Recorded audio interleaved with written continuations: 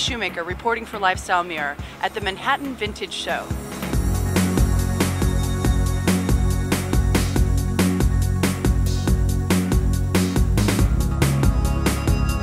Tell me, what, what about the brooch? Details about what you got on here. Okay, the brooch is uh, sterling. It's designer Coro. These are just men's trousers from about, I would have to say, like the 1930s actually. The classic 60s Ferragamo ballerina flats. My grandmother, she always wore really awesome Ferragamo shoes, Oh, and I have them all. Um, I do love all the Victorian stuff. I would say Igo. They're a European brand. Halston, YSL, Gucci, Yohji Yamamoto, uh, Comme des Garçons. This is like not a label, but it's just this like 70s insane studded ball gown. That's it for Lifestyle Mirror.